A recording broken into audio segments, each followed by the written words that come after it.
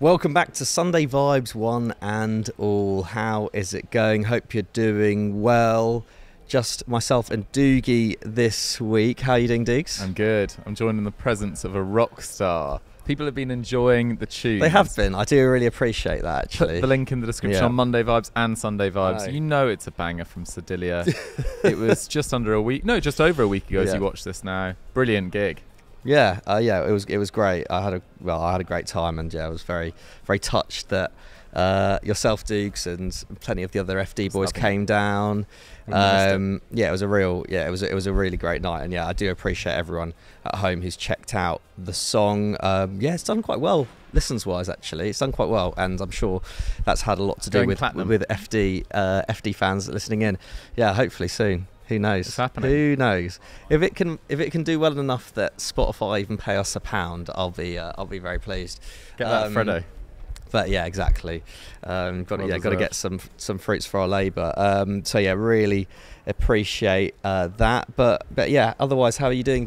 I'm End of the season. End of the season. Yeah, it's a weird, well, not a weird time necessarily. There's been so much football news this week, which we will be getting onto during the, the course of this episode. But yes, the Premier League is wrapped up. There's one more round of fixtures in La Liga and Serie A.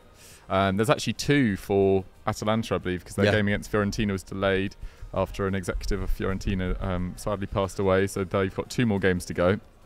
But that Europa League final last night, we might as well touch Crazy. on that. I was actually out for dinner with friends, but I caught the last part of it. But what a performance from Atalanta. And you feel Amazing. like having put out the favourites, probably Liverpool, in the quarters, you know, who can begrudge them going all the way, winning their first trophy since 1963, I believe, Gasperini's first trophy of his entire career, and the quality of Ademola Lookman's goals, particularly the second, and actually I love the Third- third one even more, yeah. I think. It's ridiculous. left foot and right foot, just absolute peaches, both of them. Yeah, I mean, it felt so well deserved. That's the thing. Like there was no, you know, I think that, that there's no real sadness to Leverkusen not having a perfect season and getting, you know, getting beaten after finally after 50 games. And I was saying it last night. You know, if there's if there's one manager in world football who 100% deserves a European trophy more than Xabi Alonso. I mean, there's probably a few to be fair, but Gasperini Hmm. certainly one of them. Like to, for that to be the first major honour um, of his career in that sense is just it's really mad. Like the you know the, the job that he's done at Atalanta has been so good, and just the longevity of, of, of, what, of what he's achieved there is, is so so impressive. You know, four you know four or five years ago really was when Atalanta were at their kind of peak hipster popular you know popularity. You know, making the Champions League quarterfinals, almost beating PSG. Um, you know, like being serious Serie uh, title challengers at, at points, probably being the best team in Italy. Um, and yet, despite the difficulties that he faced in the wake of that, you know, more so the kind of situations with with Papu Gomez and um, Ilicic as well. and, and yeah, Ilicic, um, to, to have kind of rebuilt this team again. You know, you know, you think that Christian Romero being sold and then being replaced by Scalvini. You think Ederson coming in at the base of midfield. Someone like Ademola Lookman, Hojlund leaving for big money last year after just one year at the club. Um, yeah, his ability to constantly evolve this team, and I know they've got a great academy, but.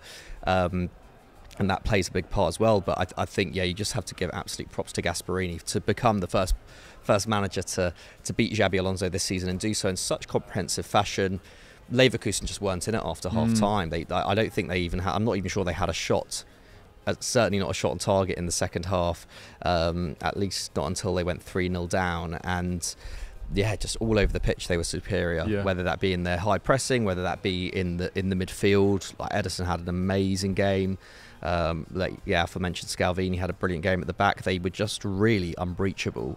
Um, Yeah, it's funny actually. In some of, in some of the WhatsApp groups I have with friends that don't work in football and you know aren't as sort of nerdy as we are at Football Daily, and a few of the more sort of I wouldn't say Brexity types, but like pure Premier League fans were like, "Who's this Scalvini guy?" And Yeah. I was like, "Yeah, he's breaking into the mainstream in games like this where most most Premier League fans probably don't really watch that much European football except for the big finals or games involving British teams. So it was great to see him sort of cracking the mainstream as it was. And you say, you know, about the players they've lost, but also the the the improvement he's got from players that had difficult years last year as well. Like Lookman had a great year last year, but that wasn't the case for Gianluca Scamacca at West Ham. It wasn't the case for De Ketelaere at AC Milan. Like he didn't score a single goal for Milan, and that you know to Almost rebuild them back yeah. into the players they, they've become this season is is super super impressive. From Xabi Alonso's perspective, I'm actually quite glad that he lost. Not because I didn't want them to compete a treble unbeaten. I think that would have been almost a sort of achievement that comes around once in a lifetime. Like, I'm not sure whether we would have ever seen that again. But for his own career, I don't know whether you want the perfect season in your first year in management. Like from from hmm. now on, say he goes to Real Madrid next summer or whatever at some stage, say he goes to Liverpool at some stage, is winning a Premier League, is winning a Champions League with those teams as good an achievement as winning an unbeaten treble or three trophies with Bayer Leverkusen? I'm not so sure. So I think for him to keep that hunger there for next year, uh, even though they'll be competing at a much higher level in the Champions League, but with the way that the the new format the Champions League is as well, more games, you expect them to Tougher. Based on the performances this year, you expect them to, to go deep in the Champions League next year, and it could be a really special couple of years for Leverkusen as Bayern Munich, who are going to get on to go through another managerial change. Yeah, absolutely. And if Atalanta stay in fifth after those last two games, it will mean there'll be six Serie A uh, representatives So in the fun. Champions League next year. I love it. Absolutely. I, I just, I, yeah, I love the fact that the Prem, you know, are not one of those two teams to, to, to uh, uh, uh, leagues to to have reaped the benefits of the coefficient this time round. Um, but let's get into the actual. Uh, meat and potatoes of the Mm. episode. Still, the, the fact that Sam hadn't heard of that saying um, just just rings around my head now. I don't want to say it.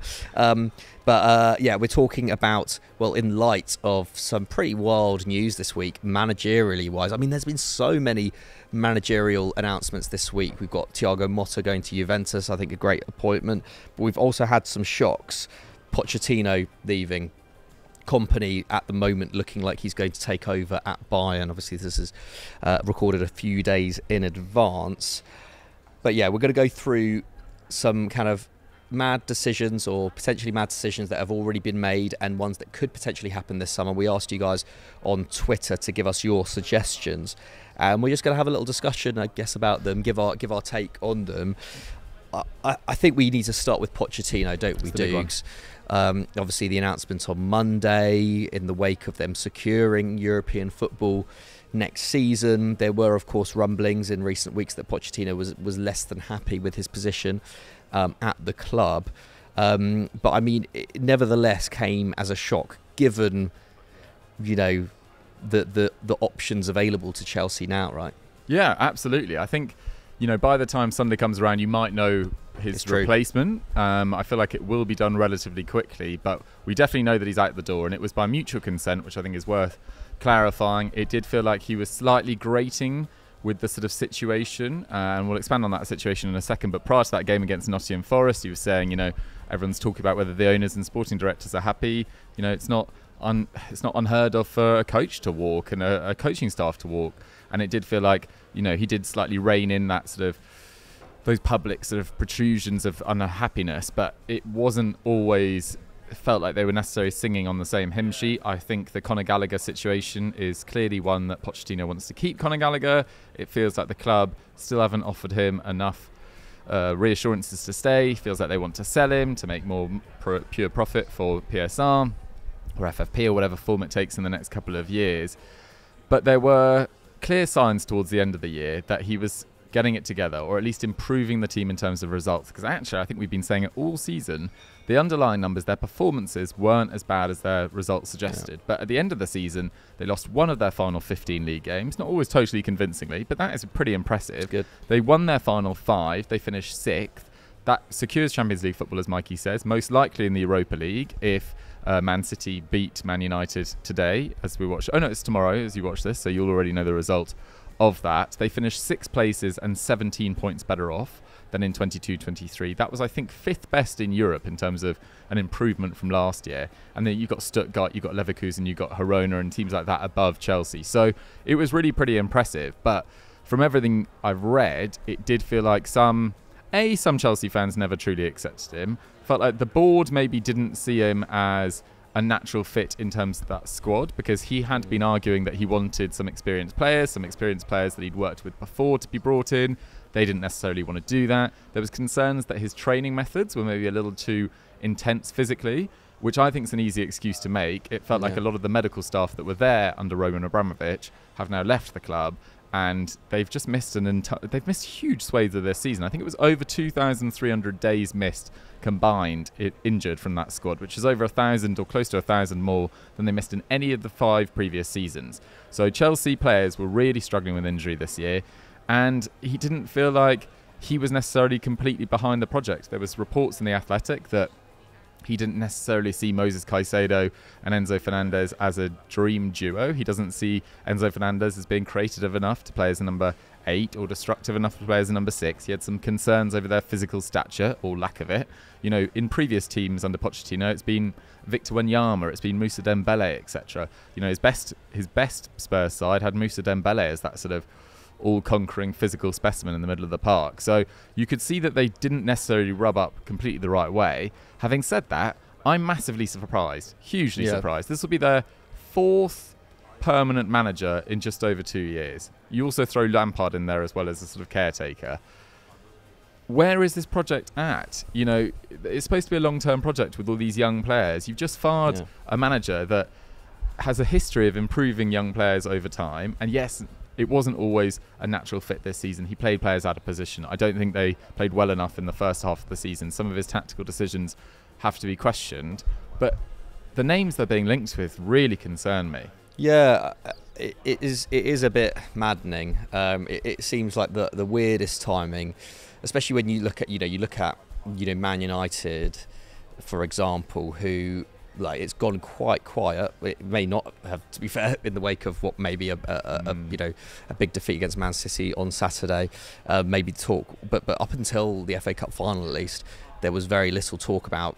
You, you know, talk had gone quiet about them, and I think it's because you know th- th- there's a lack of managerial talent out there, and for Chelsea, a club whose whose manager is in you know is in a far better stock than than United's to, to take that leap. It just it just feels so risky, and like yet like you were saying, there's obviously reports about the training methods, etc. Apparently, there's you know there was a sense that tactically Pochettino wasn't uh, doing enough on the training pitch, which I, find a, I find that a little bit rich to be honest. I think Pochettino is one of the best tacticians out there, and yet like there's aspects like set pieces which Chelsea haven't been anywhere near good at, uh, uh, enough at this year, and you know I'm sure you know there may well have been tension between the club and and Poch over that. I, I know they hired a new set piece coach or hired someone new in to, to head up a set piece kind of arm of the coaching staff this year. So details like that you can get, but then you have to look at. You, I think you have to look at the bigger picture here, right? Like he was massively popular with the players, which I think is really, really difficult with a squad that size, with players coming in and out of injury. Um, you know, with players who are having to sit on the bench a lot, with players, yeah, who aren't getting the game time that they would otherwise probably get in a in, a, in another side. Um, you know, D, you know, someone like Raheem Sterling, who's a who is a veteran, dropping him for Mykhailo Mudryk. You know, like the, these are not easy decisions for a manager to pull off, and Pochettino managed to do it and remain popular within the dressing room, and you know was winning over the fans even by the end. Um, so. Yeah, I think he had an immensely difficult job, and I think we we kind of said at the start of the season, it's it's you know it is the toughest job out there, and yet Pochettino was probably one of a few candidates who was you know potentially good enough to do it. And I think Mm. I think he passed. I think he passed the season. And like you say Dukes I mean the possible replacements one of whom may have been picked by now but Kieran McKenna as this goes out it looks like Brighton are leading the race for him. But I mean this is a manager who is I mean he has achieved something truly remarkable with Ipswich. I don't think there's many managers who can really compete with what he's achieved over the last two years, even you know, even looking at the top level to to have dominated League One in the in the way that Ipswich did, and then dominate the Championship in the way they did, with not that much of a change in No. personnel in the squad, um, is really really remarkable stuff. Like he is clearly someone who has the the credentials to go right to the very top. Um, but does that mean he will thrive in the very unique situation that presents itself at Stamford Bridge? I'm, I'm not so sure. Like uh, it's it's a really tough one to look at. Then you look at Enzo Maresca, who's also um, on the short list, of course. Worked under Pep Guardiola at Man City, clearly has good credentials. But then you look at the second half of the season with Leicester, and you know doubts begin to creep in there. Like especially given Leicester had, I think, clearly the best squad in the Championship uh, this season. You know, uh, that lack of consistency would concern me. And then you've got Sebastian Hoeneß, who has already rejected Bayern Munich. It just doesn't look like they'll be able to get him out of Stuttgart. And and, and never he's, got, he's playing the uh, Champions uh, ne- League next year. Yeah, nevertheless, well, he's playing in the Champions League next year, and and also is, you know, I, think he's great, and I don't actually think he would have been a bad fit at Bayern Munich at all. But I think it's one thing t- taking on a, a, bigger job in the Bundesliga. Um, it's, it's, another thing entirely going to the Premier League and going to Chelsea. Um, I think even to be fair, even going to Bayern Munich right now is is a very difficult task, certainly compared to say the job that Niko Kovac took on, you know, five years ago. Um, but I think for for Hoeneß it would still be you know a big risk. Um, there's just you know Thomas Tuchel clearly hasn't featured in their thinking. I think that's who all the fans would want but clearly, you know, fell out. Be fell, too embarrassing. Fell, fell them, out. Yeah. yeah. fell out with them prior to prior to being sacked in 2022. Um, so yeah, it would be a bit of a, a weird step for them.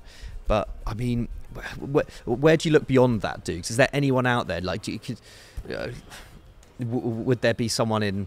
I mean, I know like Motta's gone to Juventus now, but would he have been a better candidate? Would there? I, I mean, it's, it's, easy to look to Italy and Serie A when you're thinking of Chelsea because of their great mm. um, kind of history with with Italian coaches. But like, is there anyone else that you would have? I mean, the dream would be like someone like Simone Inzaghi. Yeah. But what? Why? So many of these managers. Why would they want to join Chelsea right now? Honestly, why would you want to become the fourth permanent manager in under just over two seasons?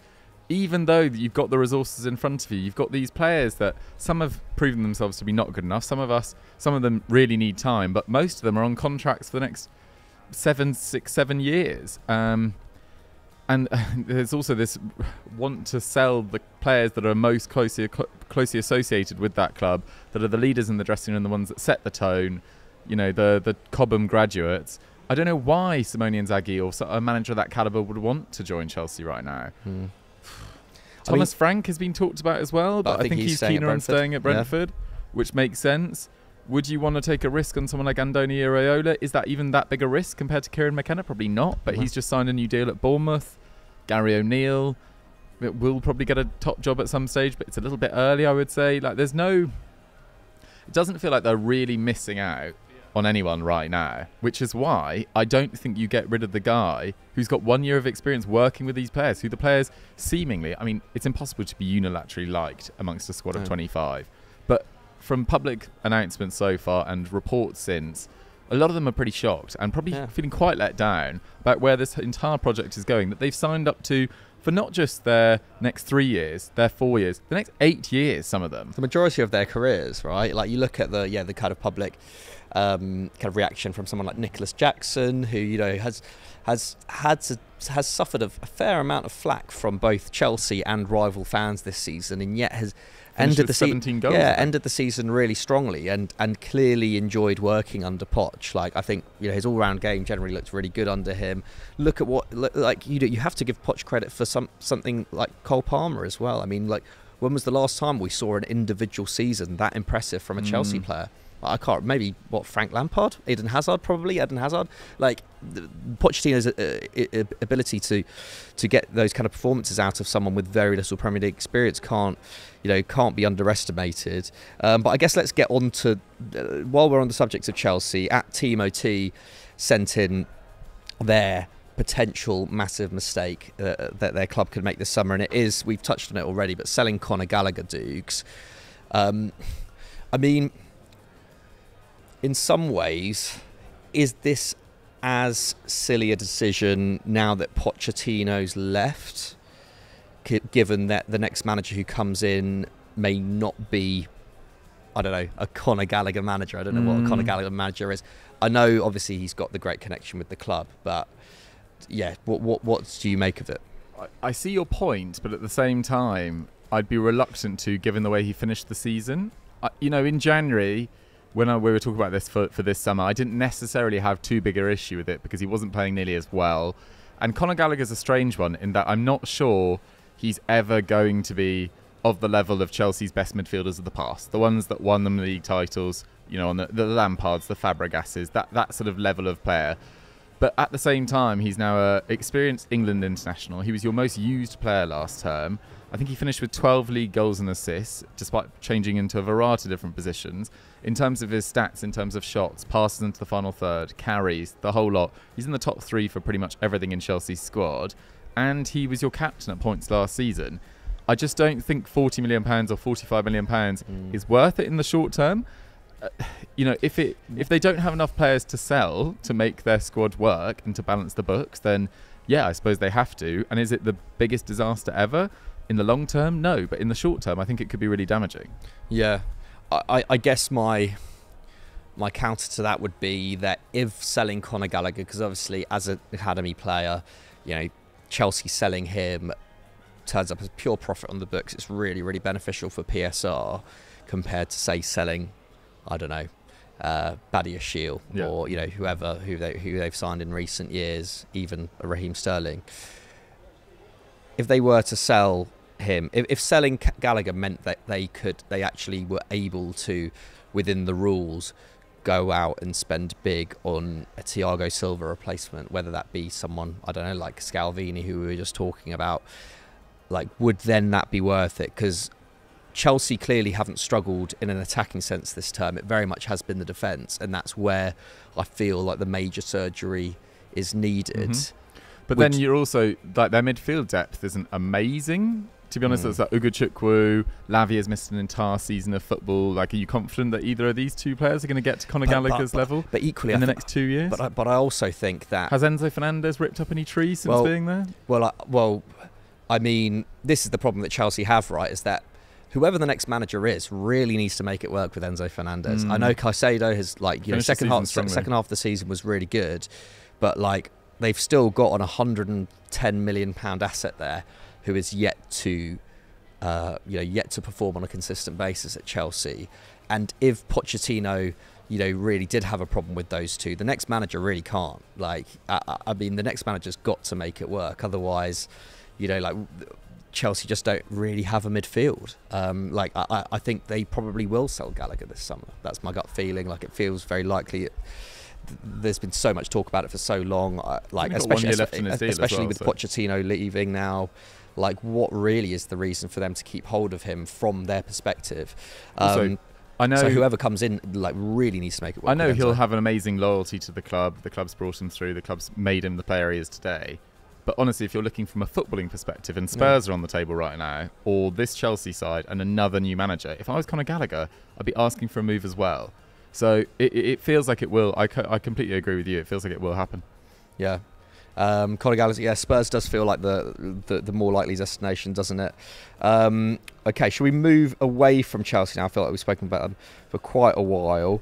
Let's go, I guess, to the other big news this week Bayern Munich not sure whether it will be official by now, but I mean, Vincent Kompany looks Lucky pretty man. pretty dead set to go there. I mean, what a fall up this is! It's brilliant, uh, brilliant for him. Um, unbelievable, unbelievable. I, I just a few weeks ago, people were criticising Liverpool moving for Arne Slot.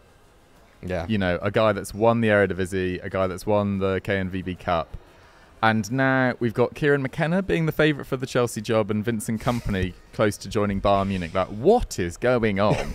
Seriously, what is going on? They, I know, okay, I'll get into Kompany and his backstory and his leadership yeah. abilities, but Burnley last year, you can criticise the squad, you can criticise the signings. They didn't adapt quickly enough to what was required in the league. They shot themselves in the foot consistently. I think some of their players really struggled to adapt to the Premier League. Is that the players' fault? Is that Kompany's fault? It's probably a little bit of both. both. But there was nothing in Burnley last year that made me think this manager is ready right now to go to one of the biggest. They only won five games, and three of those games were against Sheff. Two of those games were against Sheffield United. One of those games was against Luton. I think the other game was Brentford. So the only team that they didn't beat that was wasn't in relegation trouble at some point this season was Fulham, and It- and Fulham were you know wildly inconsistent at points And- this term. Like I mean, it's yeah, it is it's startling crazy. in that and, sense. and you know, Bayern were always going to take some flack for whoever they appointed. They were down to their what seventh, eighth choice. You know, some of those choices not they hadn't probably gone as deep as others, but they were really da- far down the list. You know, Erik Ten Hag had reportedly been talked about. Oliver Glasner, who'd just gone to Crystal Palace, etc. Vincent Kompany can speak German from his time at Hamburg. Obviously, has amazing standing in the game from his time at Man City. He's got brilliant leadership abilities. You can see that he's clearly got managerial, you know, the, the makings of a great manager. You look at the football Burnley played in the Championship, and in some ways, yeah, his skills are probably more suited to Bayern than Burnley trying to play in the Premier League without the players to do so, Yeah. having lost lots of their best players on loan. He improved a lot of players that came on loan as well. But it's a huge job for someone with that level of experience when they've shown very little time for managers like Ancelotti, Nagelsmann, Tuchel, Kovac, who, I mean, Kovac less so, but they've all achieved far more in the game.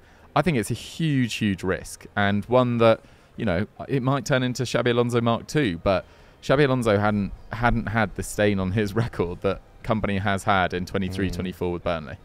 yeah. I mean, I, I guess it's also telling that Burnley, you know, want to keep Kompany and were willing to back, were very willing to back him back in the championship as well.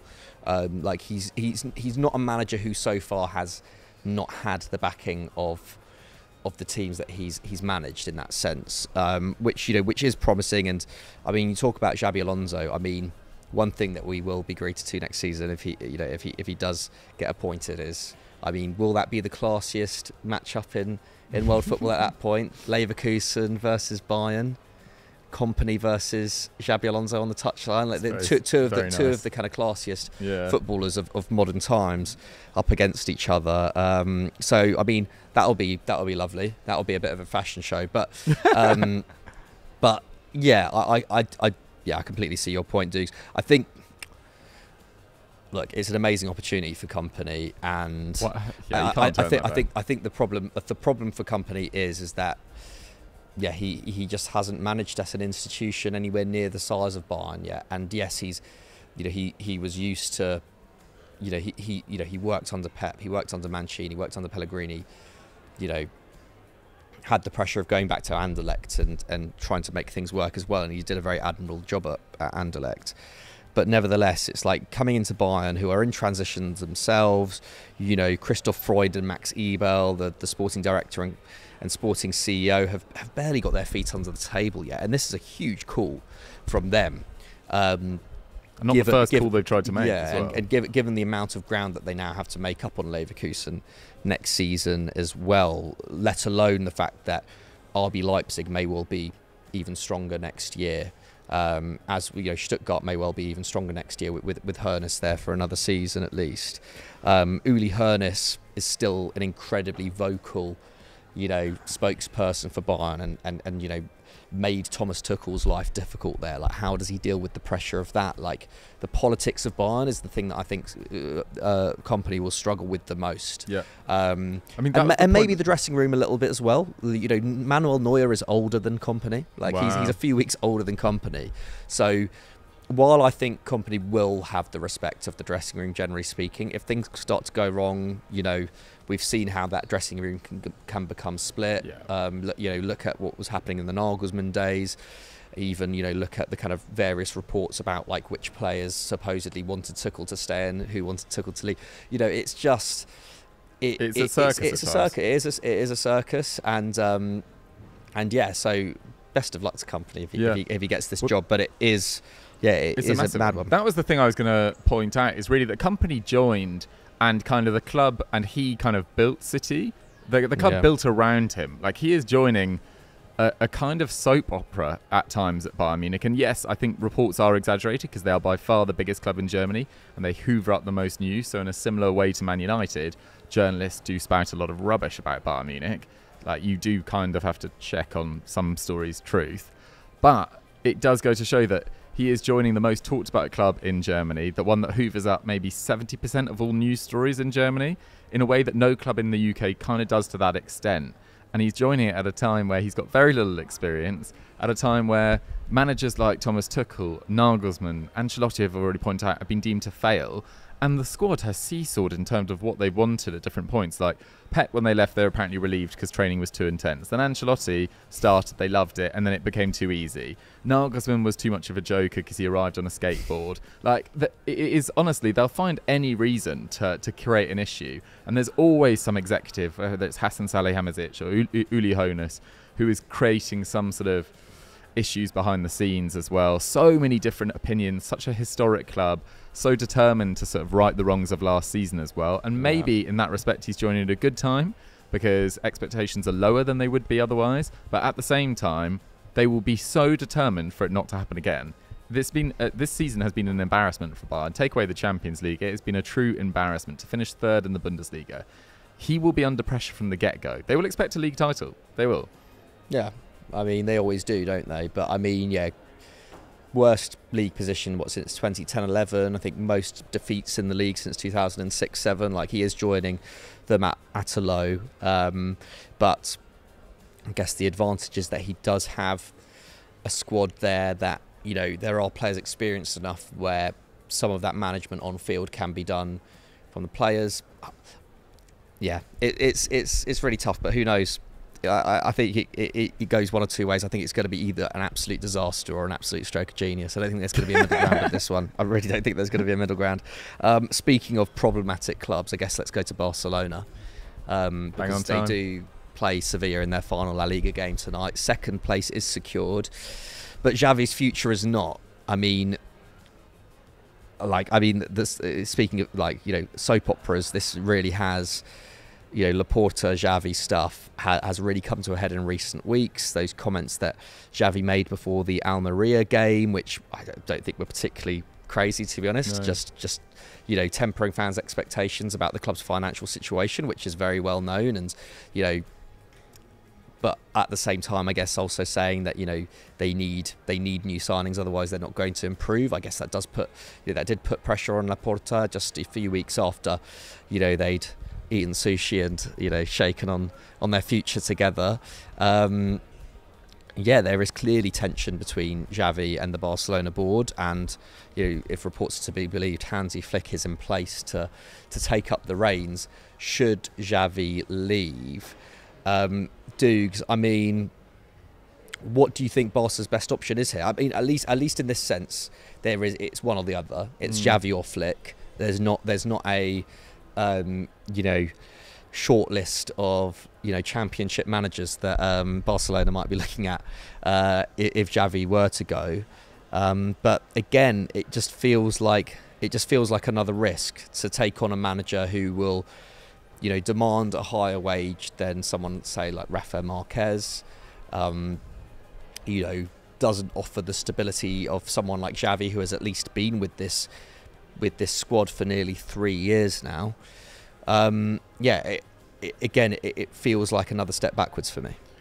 The thing is, it's so it's a really difficult one to judge because yeah. if they hadn't have had that dinner and decided that he was going to stay, no one would really be surprised by him leaving at the end of the season. Mm.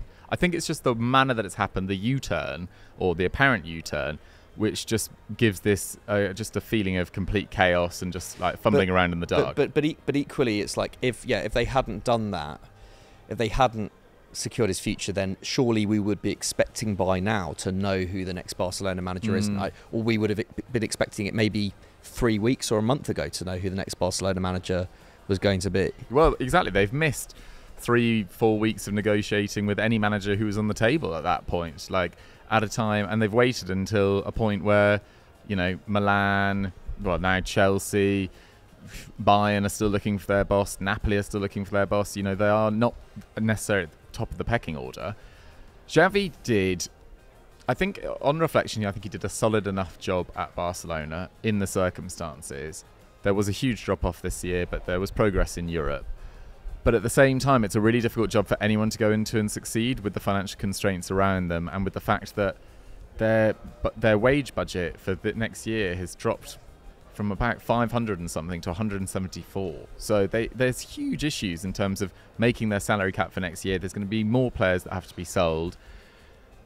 would it, would it be better placed to have Xavi in there, who is at least the best thing that emerged from this year was his trust in La Masia products. You know, Mm. Yamal, Cubarsí, Gavi prior to his injury was playing excellent football as well. So would it be better of place to have stuck with Ga- uh, Xavi than Hansi Flick, who hasn't managed a club game since 2020, who had that really disappointing and quite confusing spell in charge of the German national team Mhm. in that documentary at the World Cup really didn't do him any favours either Mhm. uh, especially because he knew most of those players from Bayern Munich. It's a strange one. Some of the football they played at, at Bayern Munich was was amazing in that treble-winning season, So but then good. they had a much much better team than Barcelona, and they had a peak Lewandowski who was scoring a ridiculous amount of goals. It's one of those ones where I actually don't really feel that strongly either way. I'd have probably. Having said I was going to keep Xavi, keep Xavi because it makes your club just look like an absolute PR disaster Mm. but uh, Hansi Flick for for the situation they're in, I don't think is a shocker. Yeah, I know what you mean. I, I feel relatively conflicted uh, uh, about this, partly because yeah, the, the the situation around Xavi's been so strange, and I think yeah, whatever happens, Barcelona are going to be fighting a losing battle next season. You know, Real Madrid with Mbappe, with Alaba back, with Militao back, Courtois with Courtois back. potentially Alphonso Davies through the door as Fully well. fit Goulart as well. Uh, yeah, I mean, they- they'd be a match in any league. I think they'd be a title contender in any league next season. Um, you know, you, you look at the points tally they rocked up this year in a season when I don't think they were actually all that impressive. Like, at Mm. least not in an attacking sense, really. They can Uh, finish with 97 like points. yeah, they can finish with 97 points, and it's mainly off the back of an incredibly well drilled defense and and an injury hit defense at that. Like amazing job from Ancelotti, but you know they're they're, they're nowhere near as entertaining a side as say Inter or um, Arsenal or you know Leverkusen Or or, end of the or even or City, even yeah. Bayern this season or more Man City. Um, and and that's what but but and, and yet they're going to improve massively next season already off the back of a huge points tally yeah, Barcelona, you know, are are going to struggle to to keep up with Real Madrid over the next few years. Um, but I think the most worrying thing, I think, for Barca is, is, is the kind of division that's now been created among among fans as well. You know, for the first time in his second reign at the club, we've seen fans begin to become a bit disgruntled at Laporta. You know, Mm. backing Xavi over him amid these recent reports of, of, of tension between them. They were, you know, shouting kind of Xavi C Laporta no on the weekend, which is um, you know, which is which is pretty mad. Like, uh, you know, you, you the fans have generally been pretty loyal to, to Laporta over the over the last couple of years. Um, so yeah, it'll be really interesting to see where this, you know, if there's another twist in this tale. I wouldn't be surprised if there is, and Xavi just stays. Like, I wouldn't be surprised after all this time. You know, we've seen it happen already. Um, the amount of U-turns has just been pretty wild. Um, but yeah, is is Flick the guy? Like, like you say, like he has played some brilliant football, and I think the Germany job, you know, at the 2022 World Cup, like, you know, those results were it kind of belied their actual performances. They should have scored a lot of goals. Um, they probably should have got through Created that group. loads of chances, yeah, yeah. Uh, based on based on their attacking displays, they, they should have made it through. Um, and and yeah, that that I don't think that that treble winning season at Bayern, in some ways, doesn't get talked about enough. Like it was really remarkable given where they were before he took over. The kind of football that he was able to get them to play, like they were far and away the best team in the world. 29 match unbeaten run. Amazing. It's crazy. The pressing the pressing football was, was brilliant. You know, he he got Thomas. T- uh, he he arguably got the best football of Thomas Muller's career out of him. Mm. And at Barcelona, he would at least have some instant allies in there. He'd have Lewandowski in there. He'd have Gundogan. He'd have Ter like players that he knows well. Like there would be, you know, the expe- the, the most experienced players in that squad would be, you know, you know, would be very good candidates for him to kind of form a, a kind of leadership team around. So it wouldn't be all bad. And, you know, we've been saying it for years. Maybe Barcelona do just need to take a bit of a risk and go for someone who's completely unaffiliated with the club and, and you know, go for a bit of Roll a culture change in that sense. But yeah, whoever's at Barcelona next season, fighting a bit of a losing battle, I suspect. Hmm. Um, okay, sticking on Barcelona, speaking of which, uh, Leo uh, Kovac Zrakic, a long time contributor to out Sunday Leo. Vibes and Continental Club, um, selling Araujo or Rafinha. Um, yeah, we've spoken about it. Barcelona may well have to sell a star this summer. Who would you, if you had to choose between the two? I mean, I, I guess it's Rafinha. if you had to sell one of them? I don't know. I think they've got better depth at centre back. I'd maybe sell Araujo. I mean, give it. I mean, Araujo is, I think, a better player than Rafinha and is showing better form for Barcelona for sure. And is, but you're you're more likely to make more money on True. Araujo as well. And they don't have a lot of forward options at the moment. Whereas at centre back, they've got Cubarsí, they've got Kunde, they've got Christensen, they've got Inigo Martinez who's still there, who they could extend for another year. Whereas Araujo could fetch Desperately need a right back though if they are going to sell a yeah, true. I think Araujo could fetch 60 to 70, 80 million pounds, something in that sort of ballpark. Whereas Rafinha, I don't think anyone's paying over 40 probably for Rafinha, even though he's had a reasonably 50. good end of the season. Um, so, and Araujo also, they signed for what, sort of 4 million euros as well. So that is a huge upturn in terms of profit, whereas Rafinha costs so much already. I mean, ideally, I wouldn't sell either, but if they do have to sell one player, I'd probably go for Araujo. And I can't really believe I'm saying that because I do rate him really, really highly. Yeah. Um, there you have it. Um, let's move away from Barca now um, to a club, well, who, if they weren't to sign a player in a certain position, would be making a mistake. I agree very much with Aiden, 1874. I can't see Liverpool not signing a Do you think defensive this is, uh, midfielder this this is summer. dead set?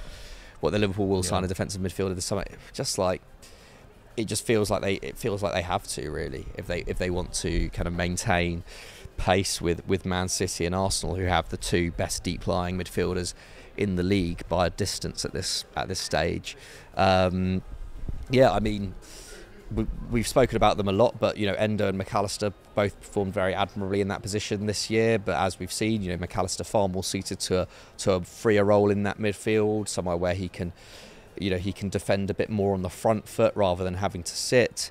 Um, Endo, great, but also hasn't, you know, he, he's not necessarily a seven out of ten every single game. You know, brilliant performance in the Carabao Cup final, brilliant performances around that time, but hasn't always, you know, had a bit of a slow start. Can't necessarily be relied upon. Also, is getting on a little bit. They they need a long term, yeah. You know, they, they really need a long term solution in that position. Thiago, of course, has left. T- Curtis Jones isn't a DM. Like he is, you know, got great defensive qualities, but isn't a DM. I think you know Mm. him and Mac Allister kind of play in similar areas, really. then you look at someone like Bajcetic, who you know, very impressive young player, but missed most of this season through injury and is still very young. I think they need to go out and sign um, sign a defensive midfielder. I already suggested Adam Wharton for them as a bit of an outside shout a few weeks ago, and I don't know, he'd cost an awful lot of money out of Palace. I mean, if they're demanding 100 million euros for Oli, Oli Glasner, I can't imagine what they're Asking what they're, for what they're the asking the year. for for like He's only been there four England's next superstar defensive midfielder Yeah. who is who may well Hey, end up that's at the Hayden Euros. Hackney. That is Hayden Hackney. Go and check that Go out. check out that video. Uh, go and check out that video. We put that out on the on was it Wednesday, Tuesday or Wednesday, Wednesday? yeah, one of those. Um, but uh, but Adam Wharton, yeah, I mean, yeah, Hayden Hackney, Adam Wharton, and Kobbie Mainoo, mate, in the future. Let's that's do good. it. That's going to be them. Let's do it. Um, but uh, yeah, I suggested him. I, I, I think it's going to maybe be impossible to get Adam Wharton out of Palace this summer. To be honest, he only, yeah, only arrived there in January. Um, Dukes, you put down here Palhinha and Manuel Ugarte. They seem a Mm. lot more gettable.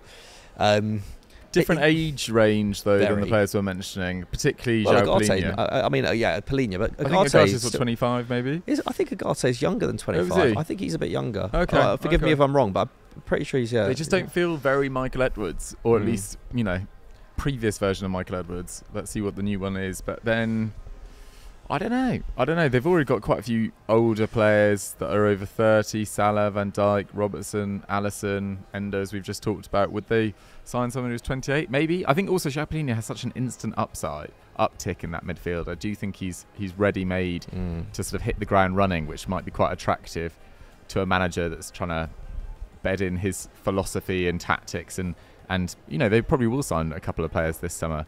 Um, so yeah, I think I think João could be a good fit.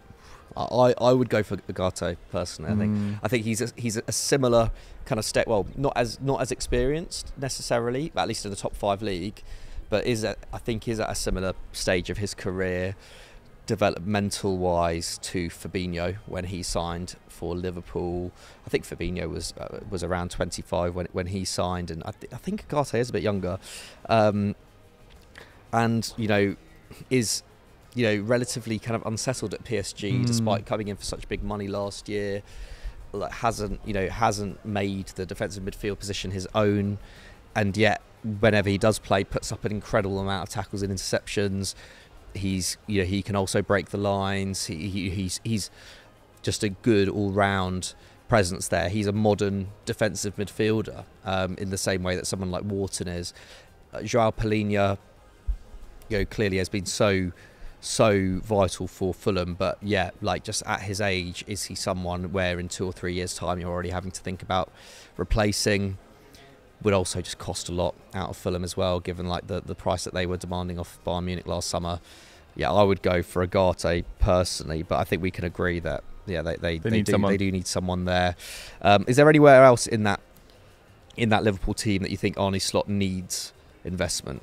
Let's say Salah. Let's one. say It's- Salah stays this summer. Yeah, it's an interesting one. I think they probably they could do with a centre back maybe, but then Quansah's emergence has really helped them out on that respect. I mean, Matip leaving. Uh, they've now got Bradley to back up Trent. Tsimikas is doing a pretty able job at left back as a backup to Robertson. They can also got use Joe Gomez there. There's, I mean, if Kelleher leaves, there's probably a backup goalkeeper they need to sign. There's debates about whether Darwin Nunez is, is your man, but I think given his improvement this year, at least in terms of his numbers, I'd probably give him another another year at least as, as your main man. Also, just the striker market is, at the moment is just so expensive. Yeah, super Um, expensive. I mean, it will be next summer as well, but it just feels like I don't know. I'd be intrigued to see another year of Darwin Nunez. I'm not giving up on him just yet. I do think he deserves a little bit more time. Yeah, under, under a new coach, but I'm, I mean, in some ways, the obvious choice might just be Santiago Giménez. Like, Yeah. like, I, like I, but look I, at the numbers slot juiced out of him as well. Yeah. like- I mean, I, I, I- I mean, I know it's, it's, it's quite kind of lazy to just be like, here's, you know, like sign someone who's worked under the manager before, but at the same time, there's, in some ways, there's something to be said about that, given the striker market, given the, you know, the, the how, how tough it can be for strikers to adapt to the Premier League, like working under a manager who, who has, you know, made you as a player in many ways. Mm. Um, I think there is something to be said about that. Um, but equally, yeah, they spent a lot on the attack, and if Salah stays, I think I, I, I think they'll be all right for goals next year. Um, speaking though of strikers, Josh Hall wrote in to say. Arsenal signing a superstar striker rather than a young one and backing Havertz would be a mistake. What do you think about that? I kind of get his point. I do kind of get his point. Unless you're going to sell Gabriel Jesus, I mean, it feels like Nketiah will probably leave this summer. But I do think Havertz's form down the stretch sort of deserves a little bit more more time, maybe in that nine role, or at least not. You know, we're signing Victor Osimhen to, to replace you permanently, and you're you're playing in midfield or you're a backup nine. I just, I do think it was it was pretty special that run of form. So someone like Benjamin Sesko, who they keep on being linked to, I think is Mm. really exciting. You know, he played a bit of a backup role to Lewis Openda this season. He's only 20 years old. He's only had one year in a top five league. He's not coming in to to move Havertz aside and say you sit on the bench. You know, the main man's arrived. That will be him in maybe two, three years' time. But there's enough promise there. You know, he scored 14 league goals in the end. He was the youngest Bundesliga player to ever score in seven consecutive games to finish the season and you know he's got incredible shot power. He's really quick. He was only clocked running I think two kilometers per hour slower than Haaland last year in the Champions League. He's six foot five. There is a serious superstar in there, but yet it's the kind of player that you sign, and he doesn't need to play every single game instantly. So there is a variety there, and also he's a very different player to someone like Kai Havertz, who's much more of a facilitator in the sort of Bobby Firmino role. Sesko would be much more of a pure number nine. Um, I think it'd be really, really exciting. I when I saw those reports that Arsenal were in talks with Sesko and they wanted to get the deal done before the Euros, I thought that is really smart. feels like an Arsenal signing, doesn't it? At this point, um, Joshua Zirkzee, someone we've spoken Mm. about a lot in the past as well, as as a Arsenal, um, you know, as an Arsenal signing as well, and you know, with, with Motta out of Bologna now as well, that Mm. he feels even The more ecstasy. gettable, doesn't he? Um, so yeah, I, I think he would be a, a really exciting signing as well. But um, but yeah, I think either Sesko or or um, or Zirkzee would, would be great. It, it it kind of feels like that's it. Like like who like Osimhen just isn't gettable at this stage, or at least if Napoli were to sell, I just I just don't see them spending that, that, that fee. Like I don't I don't know who in the Premier League actually has that kind of money to throw around this summer realistically without making significant sales. Um, Apparently, I wants think- to join Chelsea. well, good luck to him. Good luck to him. Um, yeah, Osimhen playing under Kieran McKenna next season. I'm sure that's what he had in mind, wasn't it? Uh, when he pushed for that move out of Napoli. I Uh, will but- own up. I saw that on the gossip column. Okay. I- it might have been Daily Star. I Uh, don't know. well, there you go. Less said about them, the better. um, okay, we don't have much more time, to be honest. Let's talk quickly uh, about this point made by at United 50. United signing Jeremy Frimpong. Mm. I back this, to be fair. Jeremy Frimpong. Is he really a right back? No. No. he could be an Antony replacement on the right he could literally be an anti I replacement. think it, that would actually be a, a, almost a better move, unless you are signing. You're getting rid of Ten Hag and you're playing at five at the back. I just don't think you sign Jeremy Frimpong this summer. He is not a right back really, and it would just create further issues down the line. I think you know, in terms of every stat you'd want from a right back, even in terms of his passing numbers, they're really, really low. He is an amazing. But he's an amazingly quick. He's a great dribbler. He picks up great positions in the final third. He's almost like Hakimi prior to uh, Dortmund Hakimi or uh, Inter Milan Hakimi's actually the better shout, really. Playing that five of the back system, just an absolute speedster, relentless energy, brilliant to watch. But I just don't think Man United are ready to integrate that sort of player into their 11 and use him properly. Um, I think it'd be a waste. The player, the club I'd like to see him go to is probably Denzel Dumfries. Looks like he's leaving Inter Milan. I think him at Inter Milan would be amazing. Um, Yeah. But I just can't. I can't see him at United. replacing his fellow Dutchman at, at Inter would be uh, would would be quite a handing of the baton, wouldn't it? Um, yeah, I, I, I agree. Unless you're going to go from uh, yeah, like as a right winger, even then I, I don't necessarily see the thinking so much. Given Amad's late season form, given Garnacho has looked quite good on the right when he's been called upon there as well.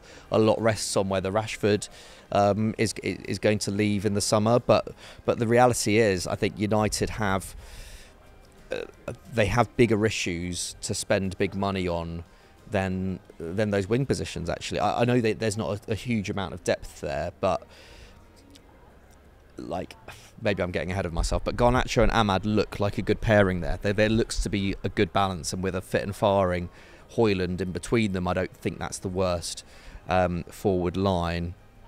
Um, and then, of course, you, you have the possibility of Sancho coming back were Erik Ten Hag to leave. Looks unlikely at this stage, but um, either way, I, I don't. It, it's certainly not where United should be spending the majority. What, I mean, what is um, Frimpong's um, release clause again? Is it Like only 35 30, million pounds, something like 35 million? It's it's not a bad price, is it? It's a really good price for Frimpong. So maybe if United have the resources, they could do that. But yeah, certainly not as a right back. They they very much need more cover, if not a first choice at left back, given Luke Shaw and Tyron Malacia's uh, injury problems. They need to sign at least one centre back, if not two, this summer after Van leaving. Um, and they need another midfielder as well. There's a lot of surgery to do at United. As Um, always, structurally, I don't think that right wing position or the right back position are really the, the biggest issue facing United at all. Far from it. Uh, but that's all we have time for on this week's Sunday Vibes. Um, myself and Dukes are actually both on an end of season break next week, so there won't actually be. Um, there won't actually be any content, unfortunately, next week. But we will be back to discuss the Champions League final between Borussia Dortmund and Real Madrid excited for that. um, a week on Monday. So stay tuned for that. Hopefully, you can keep yourselves busy in the meantime. Um, thanks once again, Dukes. Pleasure. It's been great. Pleasure. Yeah, nearly the end of the season. I guess Monday, that final Monday vibes will be our final one. Yes. yeah, we haven't taken very much season. time off as a duo uh, this season. Thanks so much for watching all our Yeah. content this season. It has been a lot of fun. It's obviously been quite a turbulent one for Football Daily fans, uh, but we will bring you more clarity on what we're planning to do this summer as soon as possible. Yeah, but yeah, we'll enjoy the well. no, Actually, enjoy yeah, enjoy the Champions League final. We'll, we'll see you. We'll catch you on the flip side. Yeah,